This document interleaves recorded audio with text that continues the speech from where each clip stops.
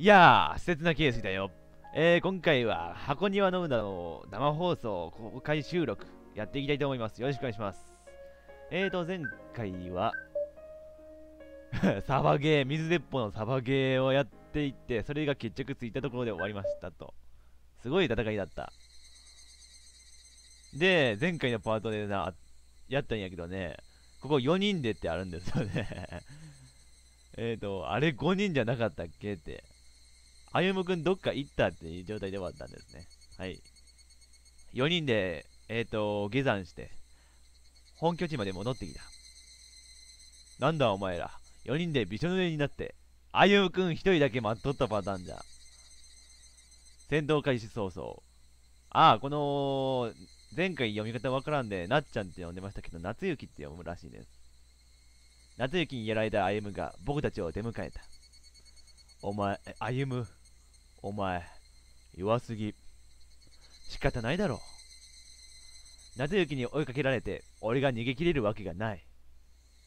俺だぞ。児玉歩だぞ。そのくらい考えてなくてもわかるはずだ。偉そうに言うことじゃねえし。ふう、暑い。もう夕方なのに。僕たちの会話を気にも留めず、みんな本拠地へと入っていく。本拠地と呼んでいるここは、今は使っていない歩夢の家の隠れだった。離れだったが。離れと言っても、歩夢の家はここから結構距離があるので、実質空き家だ。みんなに続いて、僕も屋内に移動する。歩む負けた後は一人で何やってたんだ？受験勉強めっちゃ真面目歩夢くん勉強できて運動できんタイプだったんや ああ、誠いらっしゃい。誠反応してしまった。反応せんって収録前に言ったのに反応してしまったよ。まあいいや。えーっと、受験勉強。つまんないやつね。あんたは？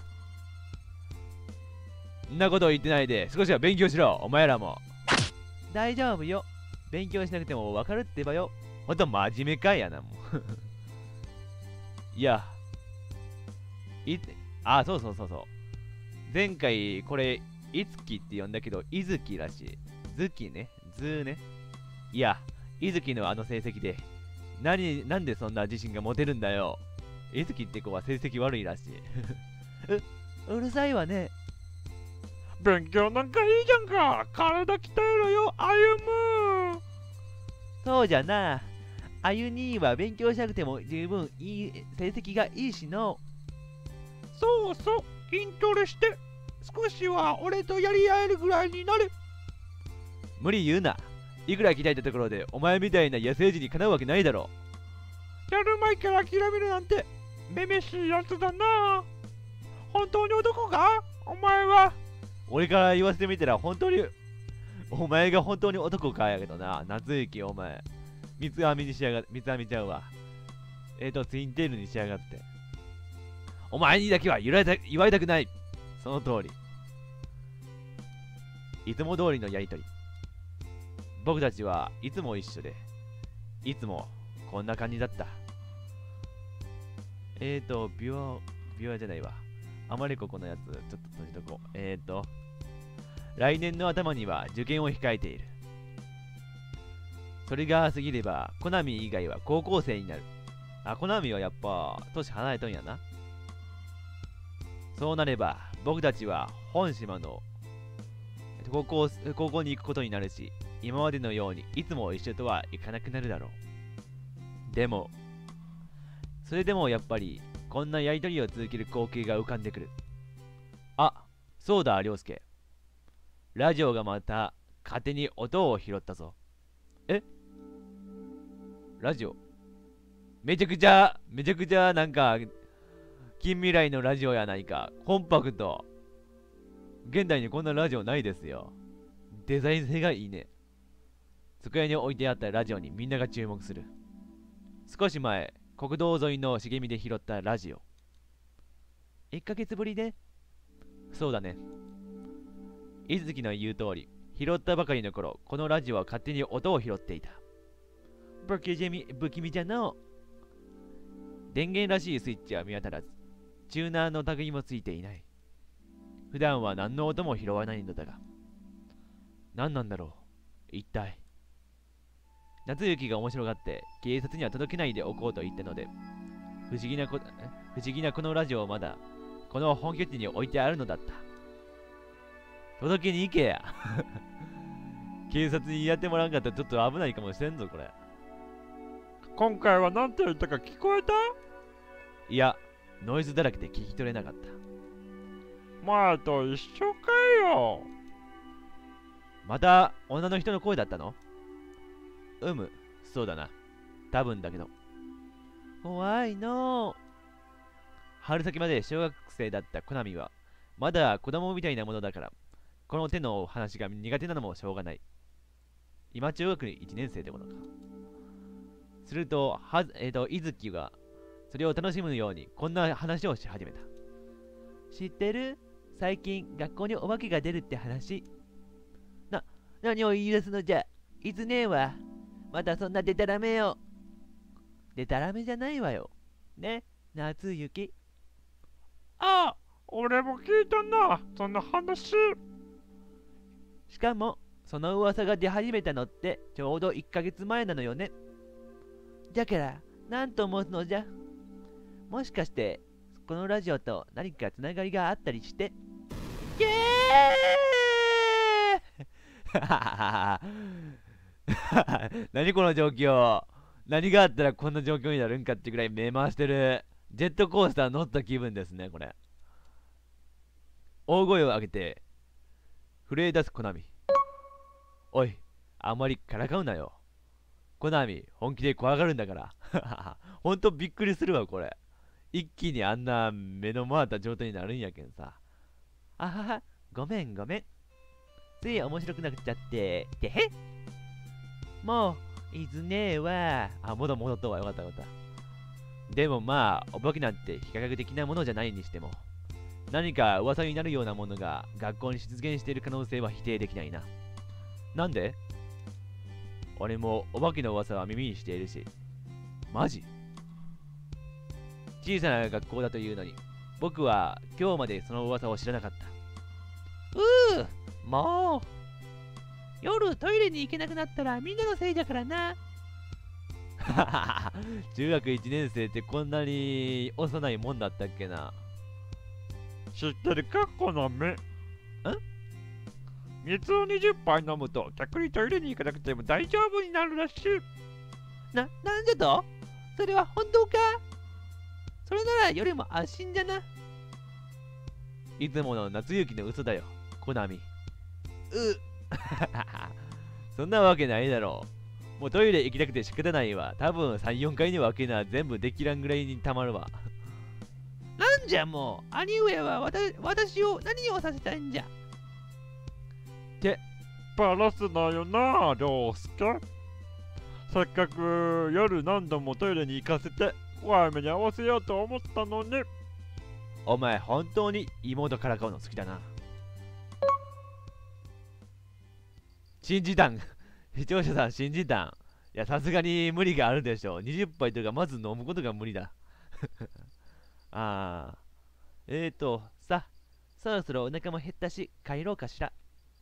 日が沈み、室内が暗くなると、伊月が立ち会ってそう言った。腹減ったな何か作ればいいじゃん。料理得意なんだし。今日は気が向かないから家で食べる。ふーん。あ、そうだ。僕、学校にジャージ忘れたんだった。取りに行かなきゃ。な、なんじゃと？だ、大丈夫か？寮に一人で行けるか？あおお前そんなに心配せんでもいいぞ。両人を、両人をそんなに怖い、怖がりのイメージに捉えるな、お前。心配そうな顔で。コナミがこっちを見つめてくる。大丈夫だよ。お化けとか信じてないし。両人は勇者じゃんの。顔がもうあれやな。何かお化け見た、本当にお化け見た時の顔やもんな。まだ出てきてないのに。じゃあ、お化け見かけたら、ちゃんと報告しないさいよね。そう言いながら、伊月が自分の家に向かって歩いていく。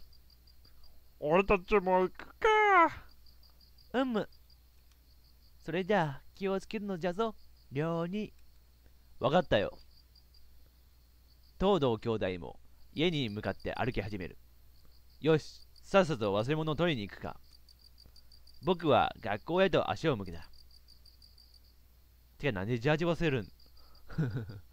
何があったんや？正門を向けて校舎を目指す。最多中学校は昨日から今日まで、明日まで、午前授業だけの特別日課になっていた。あ、だから昼から遊べたんやな。土曜に模試があるから、午後は自分でテスト勉強しろというのもなのかもしれない。全然勉強してないな。放課後は毎日、夏雪たちと遊び遊びほうけているだけなので、かなり気まずい気がする。まあ、いいか。伊月と夏雪には絶対負けないので、クラスビリはない。ビリ争いは避けましたみたいなこと言いよう。あんま主人公は勉強得意じゃないタイプ？というか、そもそもそんなに成績が悪いわけでもないし。ほんと気味悪いね、これ。無駄に気味悪いね、これ。校舎内に入る。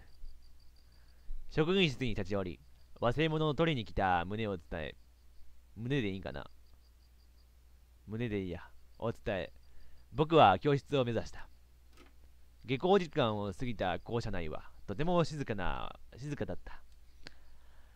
暗い廊下に僕の足音だけが響き渡る。あった、あった。ロッカーの中に入っていたジャージを引っ張り出し、すぐに教室を後にする。ほんと怖いな、これ。やたらなんか出てきてもおかしくない状態になってますよ。もうフラグレベルですよ。廊下に出ると、ふと、伊月の言葉が脳裏をよぎった。お化けか。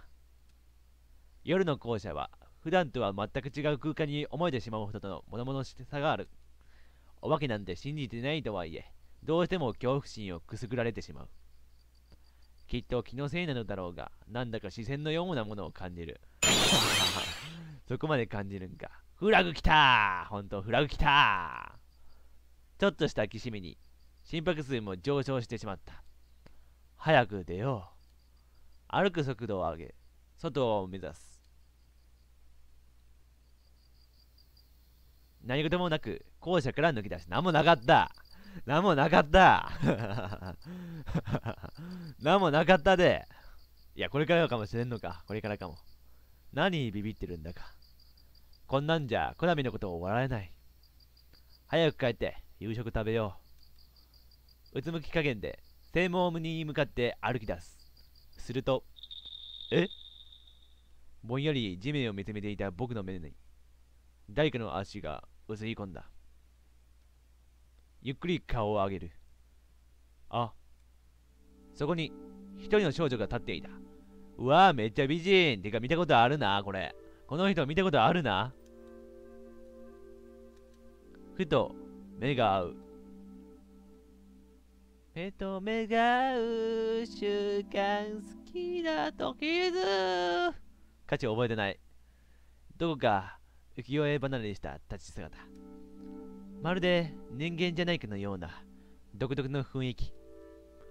街灯に照らされ光を浴びるその姿はとても綺麗だった。思わず僕は見とれてしまう。ねえ。え？綺麗な目ね。無表情な顔で僕を見つめ、少女はそ、う、つぶやいた。音痴なんはもういいでしょ、音痴なんは。え、僕に言ったの？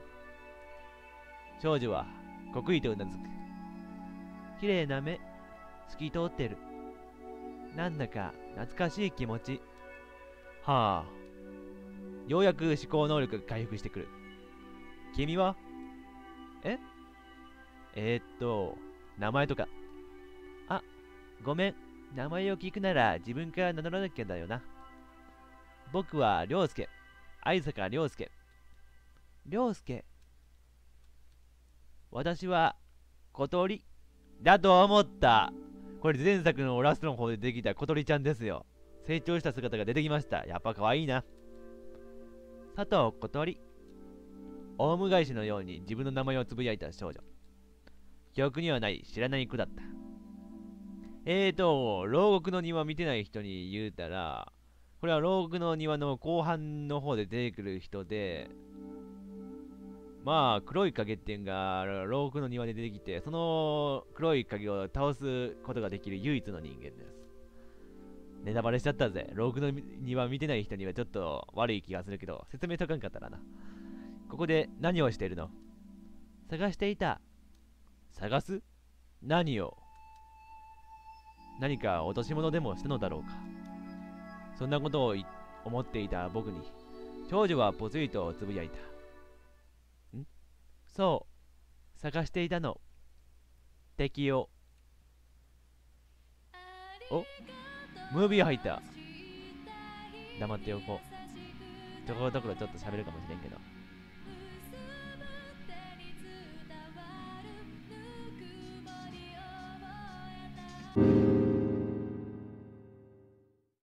なんでやろこれ。普通に収録した時もそうなんやけどなぜかこのムービーってキャプチャーで撮れんのやなこれ。まあ気になる人はちょっと自分でダウンロードしてみるなりしてみてくださいな。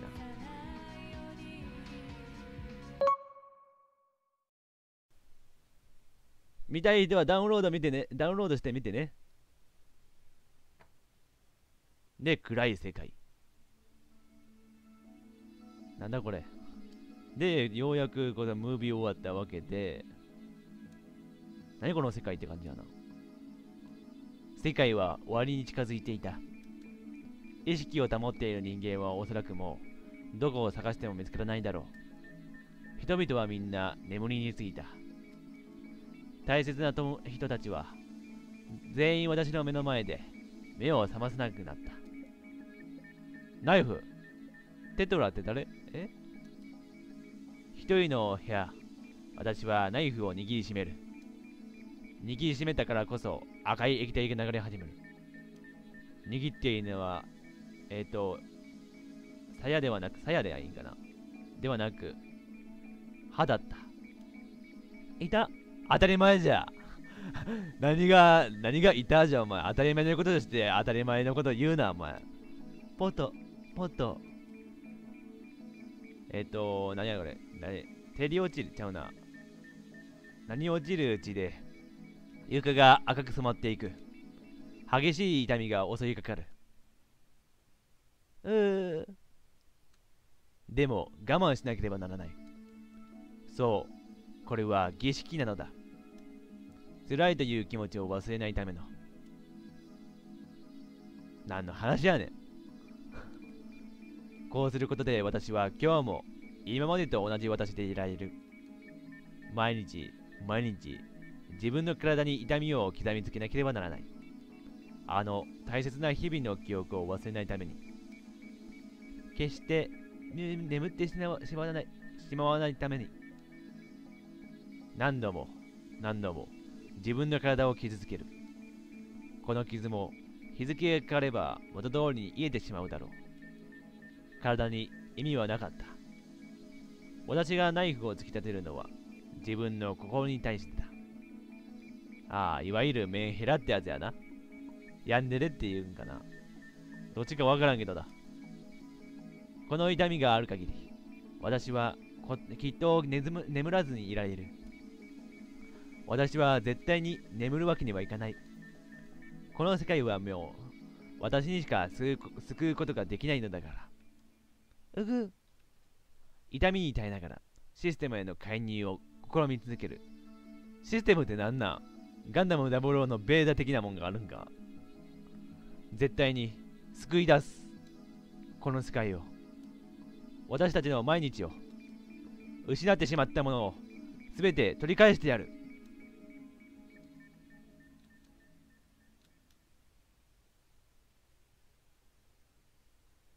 第1章、レーテク、レーティス、ダダダダダダそしてさっきのイベント前、あの、ムービー前のところまで戻ってくるわけですね。